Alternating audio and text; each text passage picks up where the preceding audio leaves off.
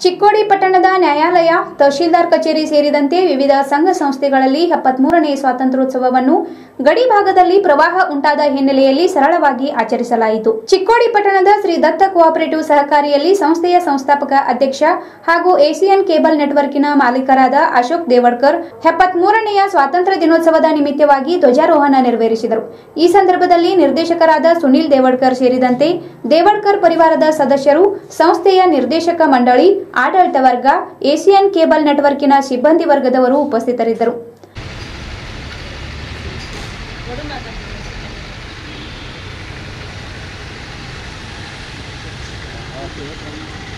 नायक जय हे भारत भाग्य विधाता पंजाब सिंध गुजरात मराठा द्राविड उत्कल गंगा विंध हिमाचल यमुना गङ्गा उज्जल जलवितरङ्गा तव शुभ नामे जाने तव शुभाशिष माने गाये तव जय गाता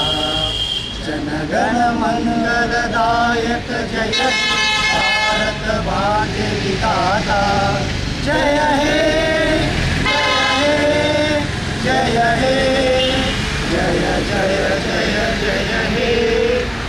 Macarradinho. Sim.